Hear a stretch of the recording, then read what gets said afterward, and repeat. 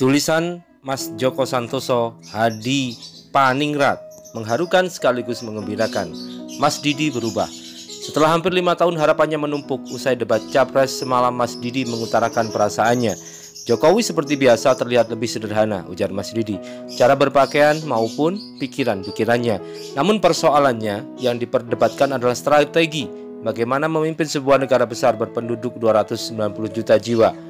Negara dengan kekayaan yang tak ternilai yang sudah pasti diincar oleh negara-negara lain yang dengan segala cara akan berusaha menguasainya, sementara rakyatnya sendiri belum menikmati kekayaan negerinya.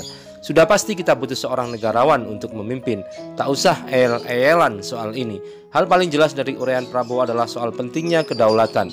Kita dipadu untuk berpikir dari akar bahwa Pancasila sudah final dirumuskan oleh founding father kita.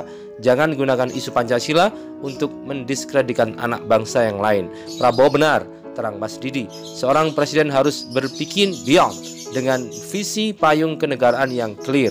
Ke mana bangsa akan dibawa? IT misalnya, penting. Tapi itu hanya alat. Semua alat dan sistem harus diarahkan untuk mensejahterakan rakyat.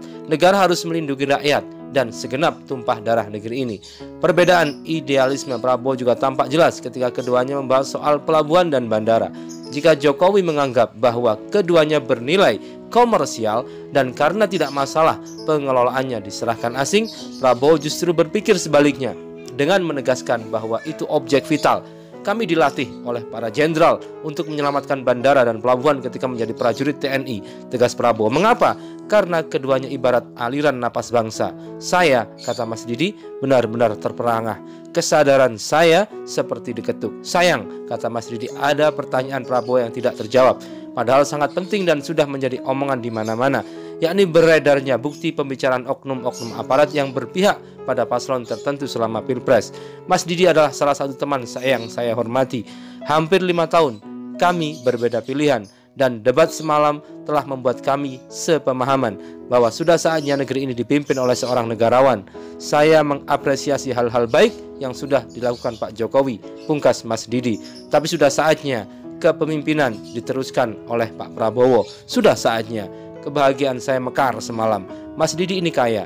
Dia tidak perlu repot-repot mikir politik atau cukup berpihak pada kekuasaan. Toh, hidupnya lebih dari cukup. Tapi ternyata ia merasa justru karena sudah berkecukupanlah, maka ia harus menentukan sikap, memilih yang memang seharusnya dipilih